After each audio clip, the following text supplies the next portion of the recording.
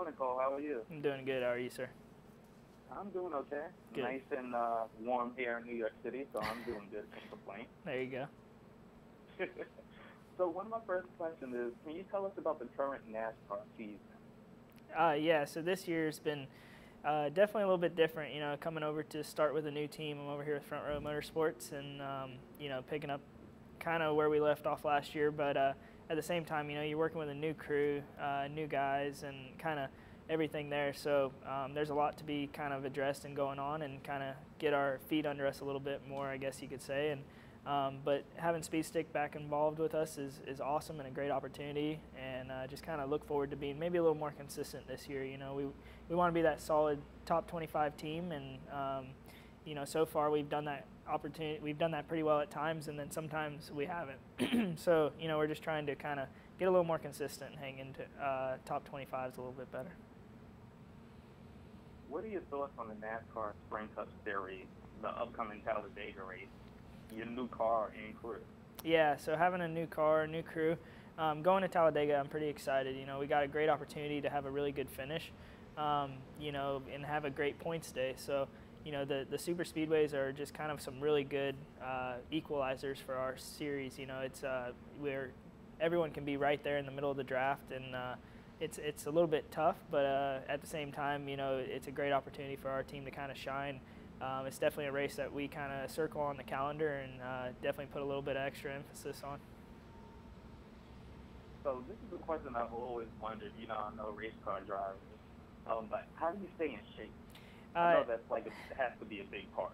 yeah, for sure. I, I take my fitness very seriously, and um, you know, there's, uh, I basically just kind of try not to specialize in any kind of certain thing, you know, whether it be cardio, strength, or just lifting, um, you know, so I, I, try to involve everything. I do a lot of CrossFit type training, um, you know, just kind of uh, keep it just always different and always kind of variably changing and not letting my body really adapt to one thing. And, um, just kind of more or less, I always try to simulate that same kind of thing that I have when I race, you know, which is basically a really uncomfortable situation a lot. You know, being in a race car for, you know, four hours and 120 degrees, it just kind of gets really uncomfortable at times. So um, to be able to uh, try to simulate that basically in my type of training is just all I really look for. So just kind of a, a hard, you know, tough, long workout, something that's just really uncomfortable where, you know, my mind kind of gets in that same mindset of uh, something that – maybe where it doesn't really want to be and kind of sit in that kind of area, you know.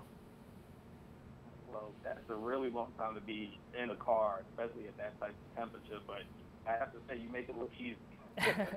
yeah, sometimes it's easier than others. what are your thoughts for a top 25 finish in, Tag- in Talladega and your aspirations for this season, Chase? Yeah, you know, I think Talladega for sure we can we can obtain that top 25. I think being top 25 week in and week out is uh, you know an opportunity that we can do this year. There's you know we've been able to accomplish that sometimes this year, and um, you know I think we're going to be able to accomplish that more throughout the season. Um, you know there's some runs where we were definitely top 25, and uh, just kind of let those races slip away from us. So you know we just need to uh, get a little more consistent, get our feet under us a little bit better, and uh, just kind of accomplish those a little bit better. And I think we can be a top 25 car kind of week in and week out. That's definitely our goal. So my last question is what is the men's speed stick defy the devil sweepstakes? Yeah, so Speed Stick's doing an uh, awesome uh, sweepstakes this year, and um, people can go to uh, Speed Twitter handle and follow them, and then go to uh, my ColeWhitt uh, Twitter handle and uh, follow me as well, and then just kind of post any moment about them defying the doubt, defy the doubt, and kind of you know defying the doubt is kind of it's kind of cool because the same thing that I go through. You know, there's been times where you know there's a lot of doubt that ri- uh, rises in uh, you know something like our sport, where you know uh, performing at, at these high levels is definitely high pressure and high intense situations. So, um, kind of anytime a fan is going through you know a defy the defy the doubt moment with uh, you know whether it be work or home or or just uh, you know a hobby that they enjoy. So they can post those, uh, use the hashtag SpeedStickSweeps and uh, Speed Stick is going to pick a winner to come down and, and enjoy a race with us and be right in the middle of the pit crew and, and right in the middle of the pits and kind of have a radio and, and kind of see our whole race weekend. That sounds like such a great opportunity for somebody. Yeah, it's, it's um, going to be really cool. But Cole, I really want to thank you. It's always a pleasure speaking with you. And from here at the Green Light, we wish you nothing but continued success. Awesome. I appreciate it. It's good talking to you. Take care.